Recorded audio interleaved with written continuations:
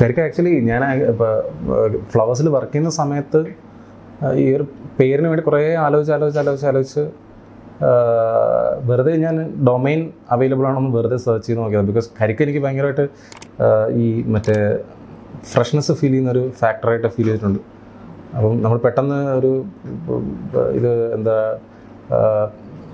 ക്ഷീണം മാറ്റുന്നൊരു പ്രോസസ്സിന് എന്തായിരിക്കും നമ്മൾ പെട്ടെന്ന് ചെയ്യുക എന്നുള്ള തോട്ടിലാണ് പിന്നെ ആ ഡൊമൈൻ അവൈലബിൾ ആണെന്ന് പെട്ടെന്ന് ചെക്ക് ചെയ്ത് നോക്കി. അപ്പോൾ അവൈലബിൾ ആണെന്നുണ്ട്. അപ്പോൾ തന്നെ ആ ഡൊമൈൻ ഞാൻ വാങ്ങി. അങ്ങനെയാണ് ആ പേരിലേക്ക് ലാൻഡ് ചെയ്തത്. മാത്രമല്ല അത് ഭയങ്കര മലയാളമായിട്ട് റിലേറ്റബിൾ ആയിട്ടുള്ളൊരു ടേമും അതിന്റെ അകത്തൊരു ഫ്രഷ്നെസ് എന്നുള്ള ഞാൻ അപ്പോൾ ആദ്യം ഞാൻ യൂസ് ചെയ്യുന്ന ടാഗ് അതായിരുന്നു. ഫീൽ ദ ഫ്രഷ്നെസ് ഇൻസൈഡ് എന്നായിരുന്നു. അപ്പോൾ ആ കോൺസെപ്റ്റിലാണ് ആ കരിക്കുന്നുള്ള പേരിലേക്ക് പോയത്. ഫൈവ് ഇയേഴ്സ് ഇങ്ങനെ ഒരു ടീം ഒരു ഫ്രിക്ഷൻ ഇല്ലാണ്ട് ഇല്ലെങ്കിൽ. അനാവശ്യ ഒരു എന്താ പറയുക അതെ അതെ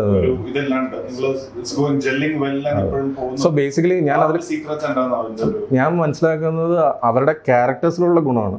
എന്റെ കൂടെയുള്ള ആൾക്കാർ അത്രയും നല്ലതാണെന്ന് ഞാൻ വിശ്വസിക്കുന്നതുകൊണ്ടാണ്. ബിക്കോസ് ഇപ്പം നമ്മൾ എന്തൊക്കെ പറഞ്ഞാലും it's very difficult to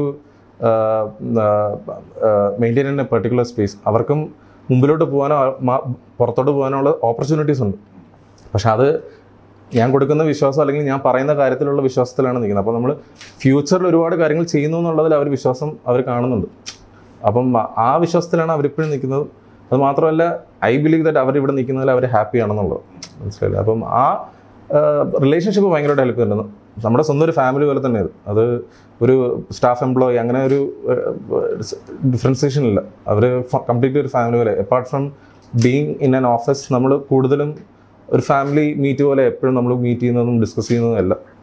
അപ്പോൾ അത് ആക്ച്വലി ഹെൽപ്പ് ചെയ്തിട്ടുണ്ട് ആ റാപ്പ് തുടങ്ങിയ സമയത്ത് ഡിജിറ്റൽ സ്പേസ് ഇപ്പോൾ ഒത്തിരി ഗ്രോ ആയിട്ട് അതെ. അതെ multiple platforms platforms Karikku survival എങ്ങനെയാണ്?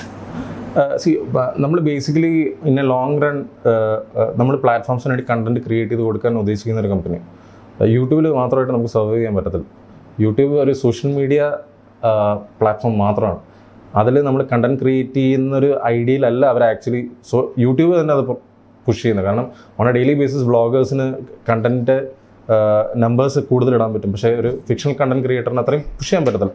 നമുക്ക് ഇവിടെ സർവൈവ് ചെയ്യാൻ കൂടുതൽ പാടായിരിക്കും. അപ്പോൾ നമ്മളും ഇൻ ഫ്യൂച്ചർ പ്ലാറ്റ്ഫോംസിലേക്ക് ഷിഫ്റ്റ് ചെയ്യുക എന്നുള്ളത് തന്നെയാണ്. അപ്പോൾ പ്ലാറ്റ്ഫോംസ് ആക്ച്വലി നമുക്ക് ഹെൽപ്ഫുൾ ആണ്. നെറ്റ്ഫ്ലിക്സ് ആയിട്ട് അതെ നമ്മൾ നെറ്റ്ഫ്ലിക്സുമായിട്ട് യൂട്യൂബിൽ നമ്മളൊരു അസോസിയേഷൻ ചെയ്തിട്ടുണ്ടായിരുന്നു. അതെല്ലാം നമ്മളിപ്പം ഒ ടി ടി ഡിസ്കഷൻസ് ചെയ്യുന്നുണ്ട്. സി അകത്തുള്ള സ്ട്രഗിൾ എന്താണെന്ന് വെച്ച് കഴിഞ്ഞാൽ being in a YouTube space it is very difficult to convince O T T platform because they need big names മനസ്സിലായില്ലേ? അതായത് ബ്രാൻഡ് ബ്രാൻഡഡ് പ്രൊഡക്ഷൻ ഹൗസസും സെലിബ്രിറ്റി നെയിംസും ഉണ്ടെങ്കിൽ മാത്രമേ അവരെ കൺവിൻസ് ചെയ്യാൻ ഈസി ആയിരിക്കത്തുള്ളൂ.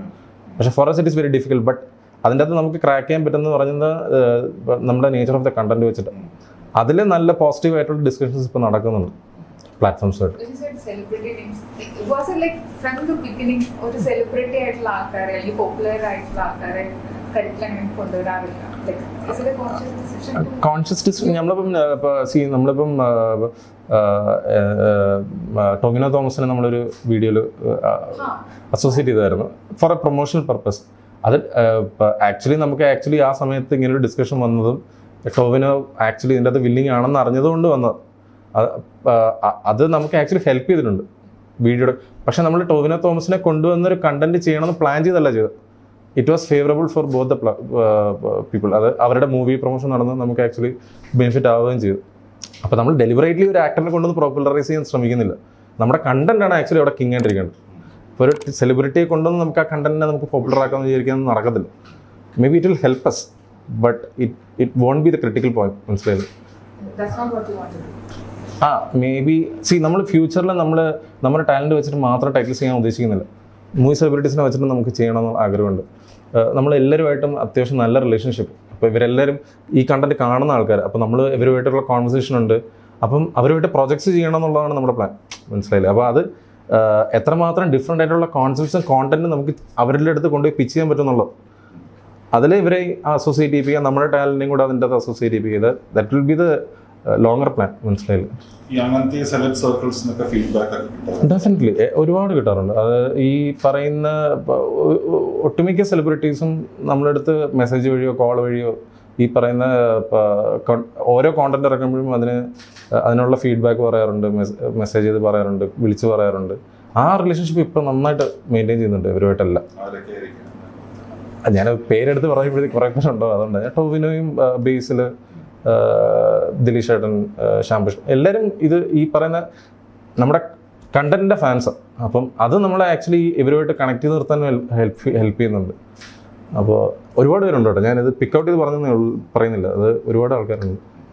അപ്പോൾ അത് നമ്മളെ ആക്ച്വലി ഹെൽപ്പ് ചെയ്തിട്ടുണ്ട്.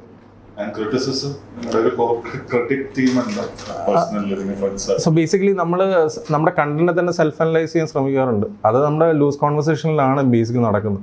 തമ്മിൽ ചിലപ്പോൾ ഇരുന്ന് സംസാരിക്കുമായിരിക്കും നമ്മൾ അത് ചെയ്ത് ശരിയല്ല ഇത് ചെയ്ത് ശരിയല്ല അങ്ങനെയൊക്കെ സംസാരിക്കും. അതല്ലാതെ ഞാൻ കൂടുതലും ഈ ആർട്ടിക്കിൾസ് വായിക്കാറില്ല.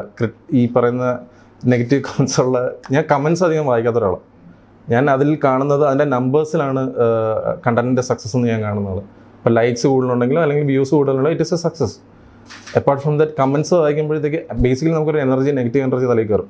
ഇറ്റ് അഫക്ട് അത് പ്രഷർ കൂടും അടുത്ത കണ്ടന്റിനെ കുറിച്ച് ആലോചിക്കും. അത് അതെ ഞാൻ കമന്റ് വായിക്കാത്തുള്ളൂ പക്ഷെ നമ്മുടെ കൂടെ ഉള്ള ഒരുപാട് ഒരു കമന്റ് വായിക്കുന്നുണ്ട്. ബേസിക്കലി ഞാൻ മനസ്സിലാക്കുന്നത് യൂട്യൂബിന്റെ കൺസംഷൻ കൂടുതലും ബ്ലോഗ്സിലേക്ക് മാറി കോവിഡിന് ശേഷം.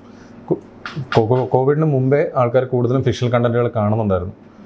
ആ സ്പീഡ്സിൽ നിന്ന് മാറിയിട്ട് ഇപ്പം ബ്ലോഗ്സിലേക്ക് ആൾക്കാർ കൂടുതൽ കൺസംഷൻ കൂടുതലായിട്ട് ഭയങ്കരമായിട്ട് തോന്നുന്നുണ്ട്. അതെനിക്ക് തോന്നുന്നു ആ സമയത്തും ബ്ലോഗേഴ്സിന് കണ്ടന്റ് ക്രിയേറ്റ് ചെയ്യാൻ പറ്റുമായിരുന്നു ആ സമയത്ത്.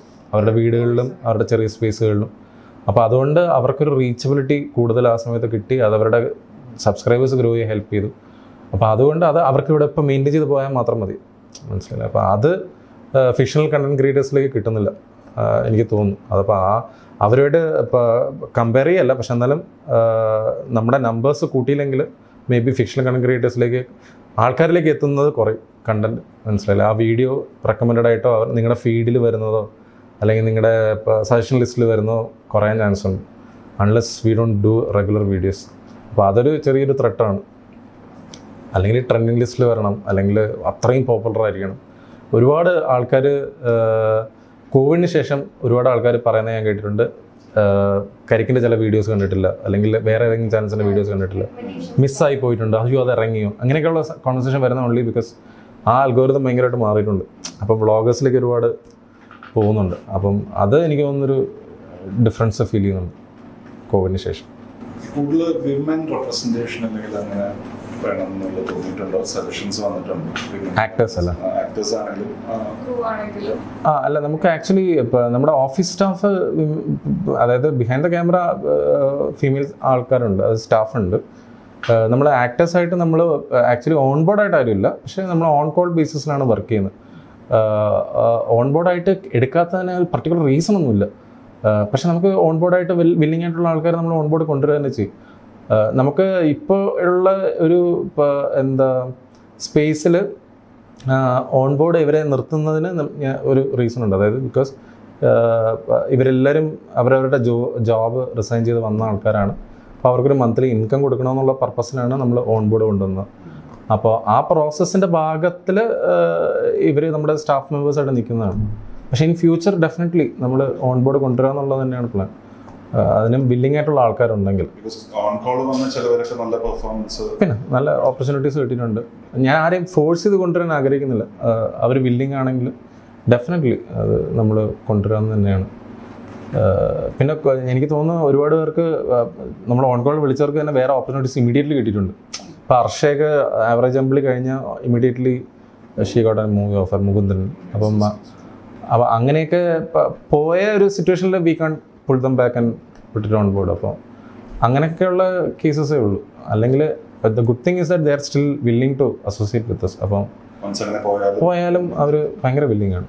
ഒരുപാട് ഇപ്പം അവർ പിന്നെയും നമ്മുടെ അടുത്ത് പറയുന്നുണ്ട്. ഇനി എന്ത് വന്നാലും പ്ലീസ് കോളേഴ്സ് എന്ന് പറയുന്നു. അതൊരു വലിയൊരു പോസിറ്റീവ് ഫാക്ടറാണ് ഈവൻ നമ്മുടെ ഞാൻ പറഞ്ഞില്ല ആക്ടേഴ്സ് പോലും പലരും കോൺവെർസേഷനിൽ എന്തെങ്കിലും ഉണ്ടെങ്കിൽ പറഞ്ഞാൽ മതി എന്ന് പറയും. It's part of the conversation അപ്പോൾ അതൊരു വലിയൊരു നമുക്കൊരു സന്തോഷമുള്ള ഒരു കാര്യമാണ്.